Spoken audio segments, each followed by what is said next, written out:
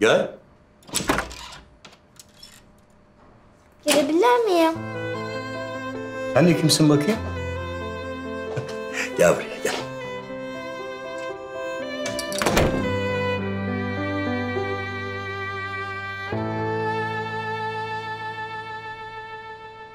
Annemi bırakır mısınız?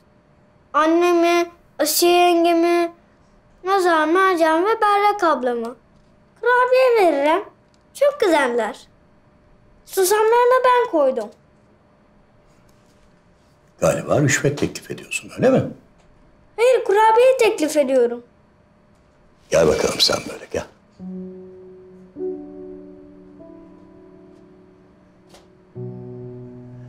Adın ne senin bakayım?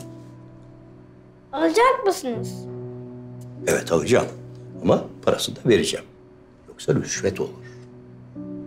Ee, kaç lira bunlar? Tanesi üç. Burada üç tane olduğuna göre kaç lira yapıyor?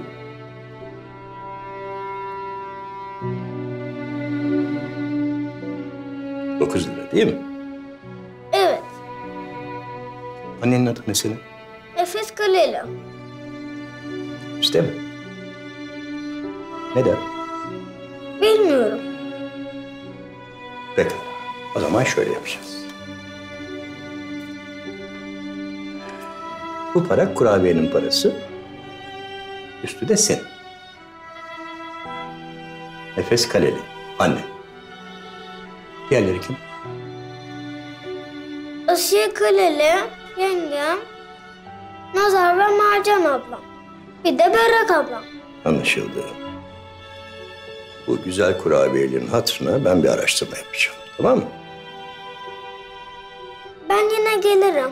Kurabiye de getiririm. Her zaman gel. Buradayım ben. İyi günler. İyi günler sana da.